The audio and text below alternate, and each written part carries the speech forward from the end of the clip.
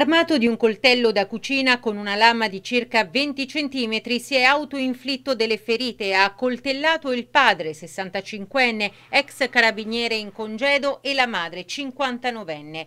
Sulla drammatica aggressione in famiglia avvenuta venerdì pomeriggio a Gagliole nel Maceratese, il sostituto procuratore Francesco Carusi vuole far luce sulle condizioni del 23enne Ivan Zamparini al momento del drammatico episodio. Per questo ha disposto esami tossicologici sul giovane.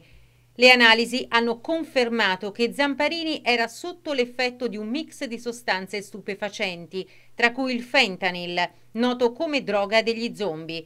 Il giovane è ora accusato di tentato omicidio aggravato nei confronti di entrambi i genitori. Sabato mattina si è tenuta l'udienza di convalida dell'arresto presso il Tribunale di Macerata, presieduta dal giudice per le indagini preliminari Claudio Bonifazzi. Tuttavia il 23enne, che è ancora ricoverato all'ospedale Torrette di Ancona a causa di una lesione autoinflitta alla trachea, non ha potuto partecipare. Nonostante la sua assenza, il giudice ha convalidato l'arresto e, accogliendo la richiesta del pubblico ministero, ha stabilito che il 23enne sarà trasferito in carcere non appena le sue condizioni di salute lo permetteranno. L'esame tossicologico ha evidenziato che Zamparini aveva assunto una combinazione di fentanyl, cannabinoidi e una quantità significativa di chetamina.